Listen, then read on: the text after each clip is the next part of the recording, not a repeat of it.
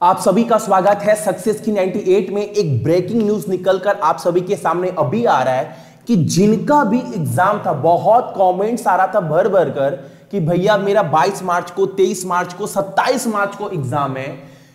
आप सभी को पता है कोविड 19 यानी कोरोना वायरस की वजह से भैया मेरा एग्ज़ाम होगा कि नहीं होगा, मेरे सिटी में बहुत ज़्यादा अलर्ट है। बिहार में, उत्तर प्रदेश में, पश्चिम बंगाल में इवन केरला में स्कूल, कॉलेज सिनेमाघर सभी बंद कर दिया गया। सरकार बहुत अलर्ट है इस चीज़ को लेकर।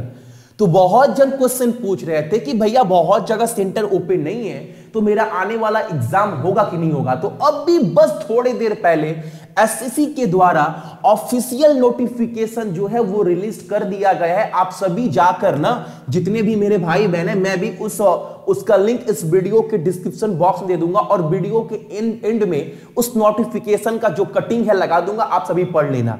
नोटिफिकेशन आप सभी को मिल जाएगा S S C dot nic dot in पर। अब भी थोड़ी देर पहले ये रिलीज़ किया गया है कि आज 19 तारीख, यानी 20 मार्च, यानी कल से जो है, जितना भी एग्ज़ाम है, वो आपका नहीं होगा। ये क्लियर कर दिया गया है तो आप बिल्कुल टेंशन मत लेना। सभी को जिनका भी, देखो, एक शेयर आप सभी कर दीजिएगा, क्योंकि लाखों आपके तरफ़ बहुत सारे छात्र जो है, जिनको नहीं पता है, जो गाँव में है, जिनको नहीं पता है, सब सोच रहे मेरा कल एग्ज़ाम है।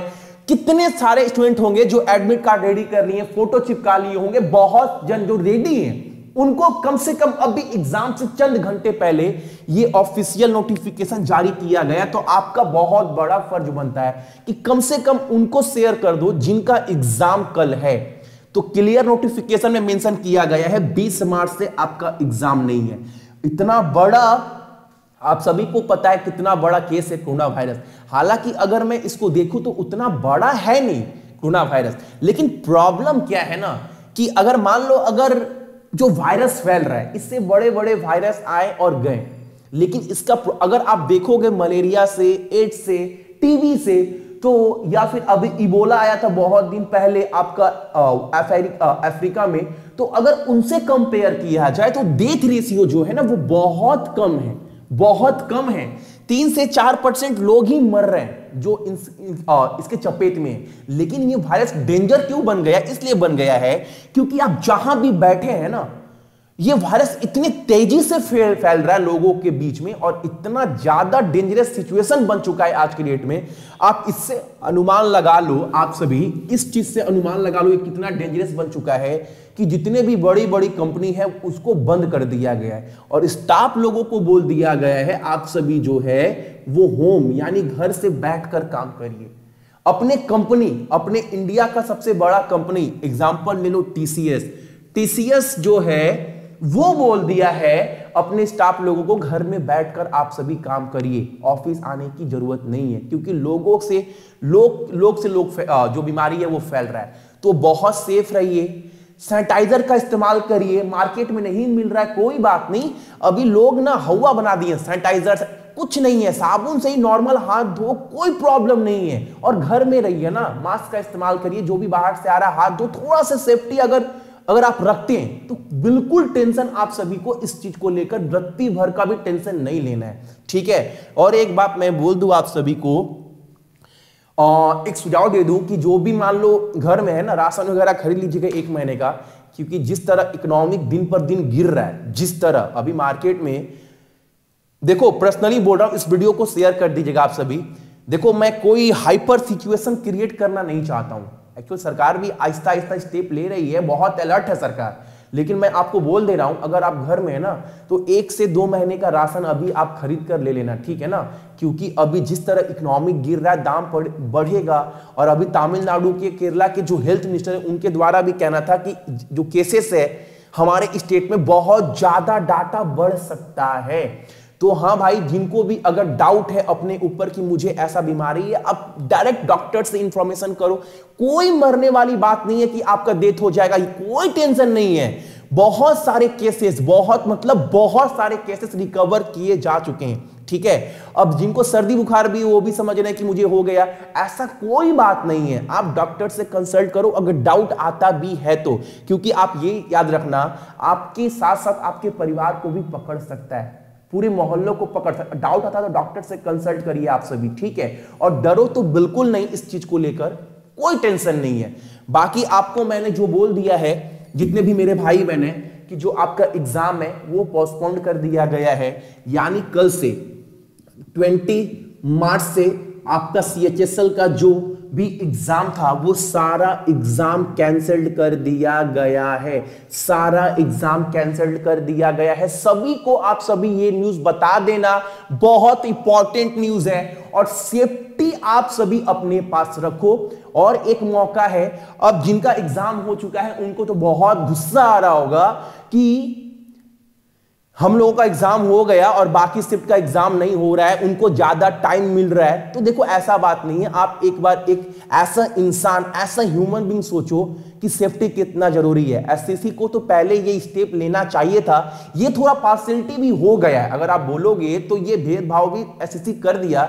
दो दिन का एग्ज़ाम कंडक्ट करवा दिया। अब जिनका एग्ज़ाम हो गया, उनके पास अब देखो शिफ्ट का जो एनालाइज है, भर भर कर मिल रहा है। मैंने भी कल के वीडियो में आप सभी को बता दिया, ये चीज़ भी, कल का वीडियो तो रामबाण हो गया आप सभी के लिए, जो कल मैंने बताया था। अभी तो जिनका एग्ज़ाम कैंसिल्ड हुआ है, उनके लिए तो मान लो, संजीनी, बूटी मिल गया है, ऐसा मान लो। मैंने कल भी बता दिया था कि सीजीएल के जितने पेपर आए हैं सीपीओ के जितने पेपर आए हैं, और एसएससी का सीएचएसएल का लास्ट एक से दो साल का, काफ़ी है एनफ है। प्रीवियस ईयर पेपर सॉल्व कर लो एक एक क्वेश्चन एक एक क्वेश्चन जो है उसके ऊपर से बन रहा है। तो कल का वीडियो तो बहुत लोग देखे हैं और एनालाइज भी कर पा रहे हैं, बिल्कुल सही बोल रहे हैं। तो अभी तो वो एग्ज़ाम पोस्टपोन होने के वजह से, अभी वो यहाँ पर डायरेक्ट कूद पड़ेंगे कि भैया बिल्कुल सही बोल रहे हैं। तो इनके साथ थोड़ा सा इनको एडवांटेज मिल गया है और बेसिक आइडिया भी मिल चुका है पेपर किस टाइप का आ रहा है, किस टाइप का नहीं आ रहा है। तो यहाँ पर बोल सकते हैं, हल्का सा एडवांटेज है इन कंपैरिजन टू वो स्टूडेंट जिनका एग्ज़ाम पोस्टपोन्ड हुआ है। लेकिन ऐसा ह्यूमन बींग अगर आप सोचोगे तो ये होना बहुत ज़रूरी था। अगर आप देखो, अगर हर एक ऑफ़िस हर एक कॉलेज हर एक सिनेमा घर सब सरकार अलर्ट पर है तो उस सेंटर पर तीन तीन हज़ार बच्चे चार चार हज़ार बच्चे जिस सेंटर पर है, उस पर क्या हालत हो रहा होगा? एक बायोमेट्रिक हटाने से इस वायरस से बचा नहीं जा सकता। फिर आप सोचो एससीसी इतना गलत स्टेप लिया। अगर आप ऐसा सोचोगे स्टूडेंट अब मान लो सर एससीसी बोला फ़र्स्ट दिन और सेकेंड सेकेंड डे कि आपका बायोमेट्रिक नहीं होगा। ठीक है, नहीं होगा सर, कोई बात नहीं। लेकिन जो स्टूडेंट माउस पकड़ रहे हैं माउस माउस पकड़ रहे हैं एग्ज़ाम दे रहे हैं, उसके बाद कोई और आ रहा है, वो भी पकड़ रहा है, उसके बाद तो ये सब चीज़ एसएससी अपने दिमाग में नहीं रखा। रखा ही नहीं। तो अगर क्या बोलूँ पार्सलिटी तो हुआ है, लेकिन कोई बात नहीं एज अ ह्यूमन भी आप सोचिएगा, एक तरह से अच्छा हुआ। अब एससीसी को आगे बढ़कर क्या बोलूँ, सारे एग्ज़ाम कैंसिल करना चाहिए, नहीं करना चाहिए, भगवान जाने, वो तो वो अच्छे से डिसाइड कर पाए, क्योंकि बड़े बड़े मैनेजमेंट वहाँ पर बैठे हुए डिसाइड कर रहे हैं। मे बी आई होप सभी सेफ़ रहेंगे, अपने परिवार का ख्याल रखें, खास करके अपने मम्मी पापा का, क्योंकि यहाँ पर जो कोरोना वायरस है कोविड नाइनटीन है ना, वो सबसे ज़्यादा जो अटैक कर रहा है वो या तो बच्चों को या जिनका इम्यूनिटी पावर कमज़ोर है, यानी बुज़ुर्ग को तो कम से कम ना अपने मम्मी और पापा का ध्यान आप सभी अपने घर में रखिएगा। मान लो अगर वो सेफ्टी नहीं अपना रहे तो आपका फ़र्ज़ बनता है आप पढ़े लिखे हैं, उस लेवल पर आ चुके हैं।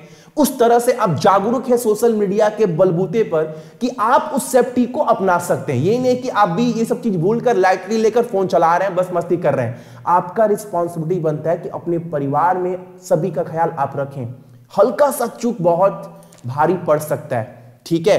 तो सेफ़ रहिएगा, अपना ख्याल रखिएगा, अपने परिवार का ख्याल रखिएगा और साथ साथ अपने मम्मी और पापा का। और सभी को बता दीजिएगा आप सभी कि एग्ज़ाम जो है वो पोस्टपोन हो चुका है। जो भी स्टूडेंट कल एग्ज़ाम देने जा रहे हैं, बोल दीजिएगा कल एग्ज़ाम नहीं है। आप सभी का घर में बैठकर और जितना एफर्ट लगा सकते हैं, जितना मेहनत कर सकते हैं, उतना जान लगा दो। और कभी भी कोई नोटिफिकेशन आएगा और एससीसी को लेकर या एनटीपीसी को लेकर, किसी भी एग्ज़ाम को लेकर तो मैं सबसे जल्दी, सबसे पहले आप सभी को इंफॉर्म करता हूँ। तो चैनल को सब्सक्राइब कर लीजिएगा नोटिफिकेशन के बेल को दबा दीजिएगा, ताकि आप सभी का एग्ज़ाम आप अच्छे से दे पाओ। और एक शिकायत आप सभी का, दो तीन दिन से ये चल रहा है कि भैया दिसंबर का पीडीएफ आप सभी ने अभी तक नहीं दिया। हर एक मंथ का मिल गया। दिसंबर का पीडीएफ आपको थोड़ी देर बाद टेलीग्राम पर शेयर कर दिया जाएगा। तो टेलीग्राम का लिंक आपको इस वीडियो के नीचे है तो वहाँ से आप सभी टेलीग्राम से भी जुड़ सकते हैं, जहाँ से आपको पीडीएफ जो है वो अप टू डेट मिल जाएगा। बेस्ट ऑफ़ लक अच्छे से रहिएगा, अपने साथ साथ अपने परिवार का ख्याल रखिएगा। ऑफिशियल नोटिफिकेशन है, झूठ नहीं बोलता हूँ मैं कभी सक्सेस की 98 पर किसी भी चीज़ को लेकर, रेलवे एसएससी बैंक हो, या फिर अगर आपको लगता है कि भैया झूठ बोल रहे हैं तो आपको मैं इस नोटिफिकेशन का जो लिंक है, इस वीडियो के डिस्क्रिप्शन बॉक्स में डाल दूँगा या एस पर जाकर आप सभी भी चेक कर सकते हैं। ठीक है? चलिए।